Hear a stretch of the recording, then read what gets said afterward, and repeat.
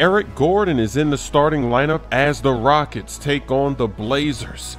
And they're trying to get back into the flow of things. They've lost seven of their last nine games. It's not looking good at the start of the season. Can they get this turned around?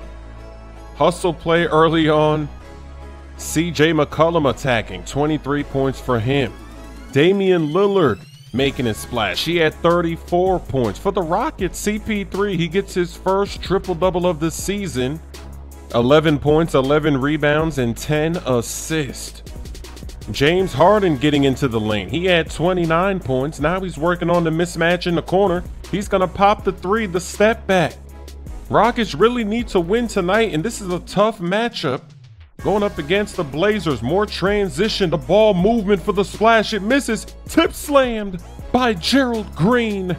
He's pumping himself up. We haven't heard much about Gerald Green this season, have we? He had a breakout season, kind of, last season. CP3 getting fancy. Off the inbound, it's stolen. We're going the other way. Look at that picture perfect pass. And then the finish. CP3 gonna dance once again, throws up the lob to Capela. The Rockets crowd is going crazy. They have a double digit lead.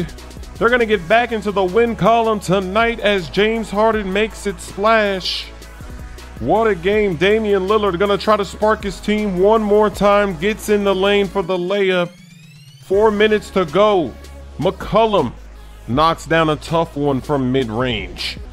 This game is not over. The Rockets are not looking good here in the clutch. Anything is possible. Gordon takes the inbound, scores it.